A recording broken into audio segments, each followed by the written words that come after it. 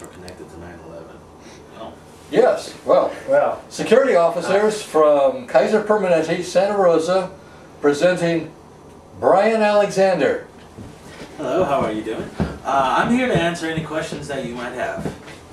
Well, tell us a little bit about your uh, earlier days. Well, um, when I first started off here at uh, Kaiser Permanente, I was incredibly happy to work with doctors and nurses, people who uh, who help the community, and uh, they're, they're heroes. They save lives, and I'd like to be a part of that. And I figured, hey, uh, uh, it's much easier than running around in a cape and a, mask, you know, trying to be a hero. I mean, uh, you can only get so many restraining orders.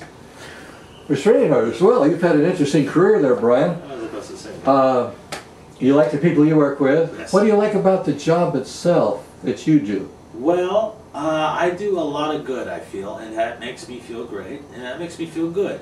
And I think that if I could continue this, that would be excellent. That's what I. That's how. That's what I feel. Yeah, I guess one of the, the perks is having uh, health care. How's that worked out for you? It was working good until recently. Oh, what happened? Uh, Kaiser Permanente has. Uh, I'm trying to find the correct word. Uh, oh, uh, screwed us. Uh, you see, You had to bend over? Yeah, very Oh. much so. I, I, I, I, here's the situation. I have a lower lumbar back pain, and it hurts bad, and uh, really bad. And the doctor referred me to a pain specialist, and he said, "There's something with your lower spine. We got it from your X-ray. That X-ray, uh, of course, I was covered by my old insurance at the time, 20, uh, 40 bucks actually. That was that was fine. I was fine with that. Then." Uh, I was supposed to get the MRI. It would have cost me 20 or 40 bucks, like the x-ray. Now, $1,050. Are you sure you didn't misread the number? No, no, I, I went over it over and over and over again. Oh, wow, did I go over that thing. Hmm. And, it, and they, I talked to them, and I I kind of uh, asked them um, kindly, uh, there, there's a mistake here, and I can't afford this. And uh, Well, how much of your monthly salary would that take to pay a thousand and fifty dollars? all of the first one and half of the second one. Two paychecks. Yeah, nearly two paychecks, and I gotta, I gotta eat. I mean, I, Well, maybe not. well, I, I, I've, I've done it enough, as you can tell, but still, I, wow, it's a lot of money. It's a lot of money. Well, does that affect your goals in life at all? It does greatly. Uh, I want to get my own place. If I have to pay for medical expenses and that extremely ridiculous amount of money just to get something that used to be 20 bucks, uh, there's no way I can get my own home. There's no way at all. No, none. I mean, the simplest of things are gone. Have you been dreaming about having your own home? Oh yes, I, I, amongst other dreams I've had, mostly involving people who are very connected to the Playboy Mansion. It is very difficult to achieve anything nowadays without cash, and uh, if I'm trying to stay alive, uh, and, I, and that's going to take every penny I got. Well, who do you live with now? I live with my father, Ah, and uh, he helps me with my financial uh, uh, burdens.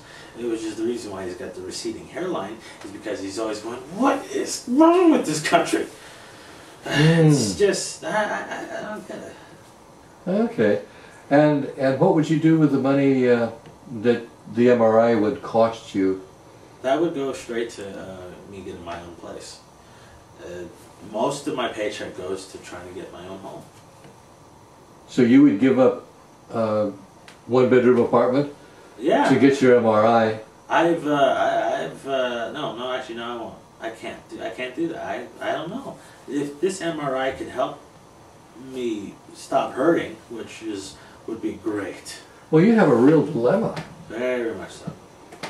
No solution, I guess. Uh, I have a, I have choices. Um, the financial aid thing, which would be completely, which is you know if they find out how much money I have in my account, I won't be able. They won't. They won't insure me. But if I do pay for it, I have a choice of living in a nice uh, refrigerator box in an alley.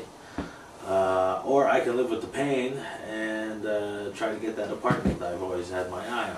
Any apartment will do at this point. I, I just I need a place. I need to be my own person. Well, do you have anything to add to that? Uh, Yes, I do actually. Uh, to anyone out there who's suffering uh, the same way I'm suffering right now, I'd like you to uh, understand that you're not alone, and I, I'm with you. Uh, we're, we're, we're all suffering, and we all have to do something about that. And pulling together and uh, fighting this is the best thing to do. And second, uh, to the people of Kaiser, um, and um, you know what you're doing right now after all the years of uh, um, service we've given you. Uh, thanks for that. Uh, it's uh, I'd like to ask for a couple of things. One, I'd like to have the simple insurance plan that showed that you were appreciative of our hard work and that we are in fact human beings with needs and and if I we can't have that, I'd like to get a kiss because I always get a kiss when I'm being screwed. It's tradition, and uh, at least that's uh, that's all I'm asking. Well, thank you, Brian Alexander, for your uh, candid comments. It's no problem. I I'm out there for everyone. Keep thriving, Brian. Thank you. I try.